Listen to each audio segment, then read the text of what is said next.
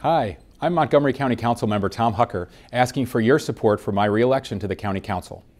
I'm so proud of what we've accomplished the last four years.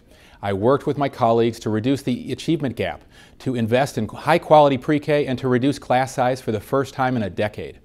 I helped lead the fight for paid sick leave for Montgomery workers and then expanded the law to provide paid leave for new parents as well.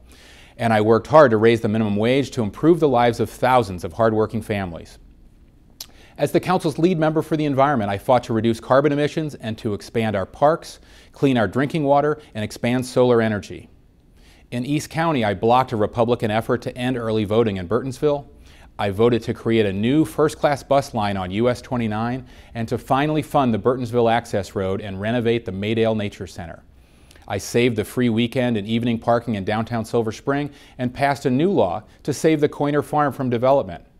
I led efforts to fund the Forest Glen pedestrian tunnel as well as safety improvements on Dale Drive and other roads. I made sure we'll soon have the first 24-7 paramedic in Takoma Park and fought to keep the Piney Branch pool open and to protect our low-income tenants there.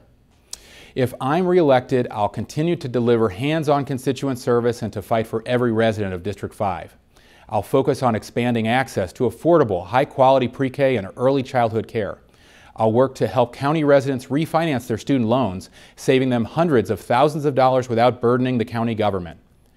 My track record of progressive leadership is the reason I've been endorsed by U.S. Senator Chris Van Hollen, Congressman Jamie Raskin, County Executive Ike Leggett, and Takoma Park Mayor Kate Stewart, as well as the Sierra Club, CASA in Action, our firefighters, retired teachers, retired uh, Progressive Maryland, and many others. You can see them all at tomhucker.com.